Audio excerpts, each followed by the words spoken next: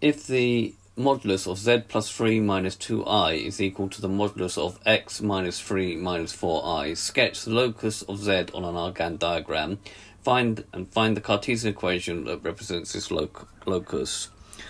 Okay, so we got the absolute value of z plus 3 minus 2i is equal to the absolute value of z minus 3 minus 4i.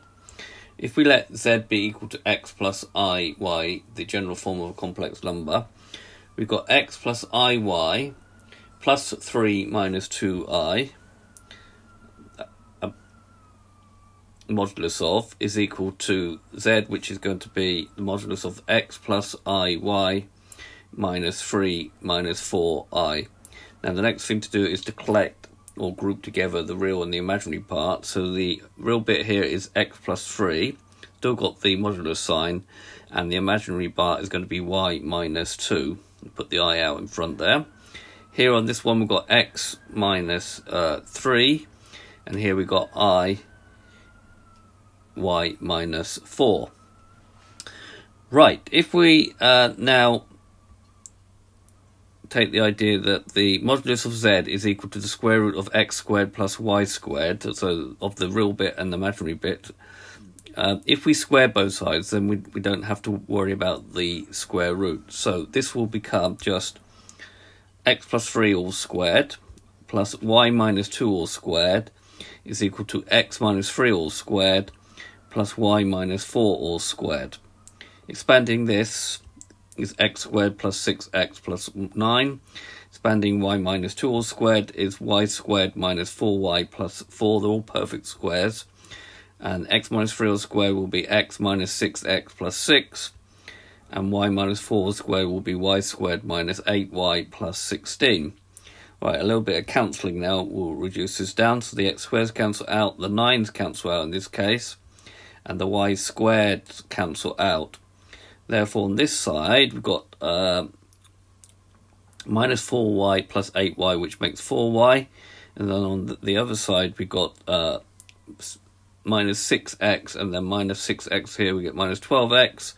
And then taking the 4 here, we're going to get plus 12. Dividing through by 4, we get that y is equal to minus 3x plus 3. So this is represented by drawing the line minus 3x plus 3. So if we now draw our Argand diagram, we mark on our two complex numbers. So this complex number will be minus 3 plus 2i, and this one will be 3 plus 4i.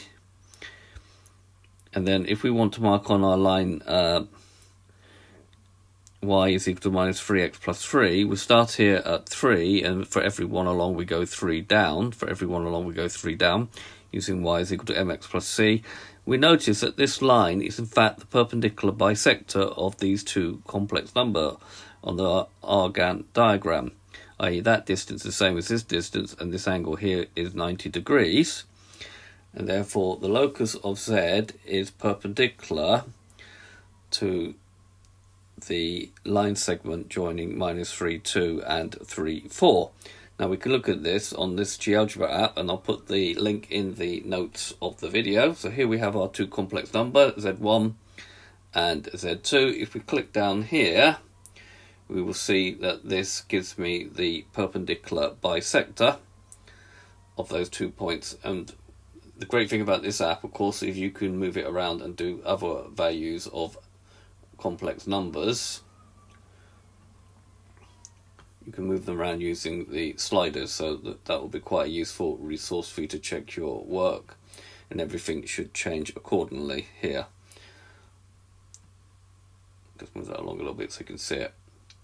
Okay, so this has been a video to show you uh, one modulus of a complex number of z minus a complex number is equal to the modulus of z minus the other complex number and then drawing that on a Argand diagram. I hope you've understood and I thank you very much for watching. I remind you the GeoGebra app link will be in the notes of the video.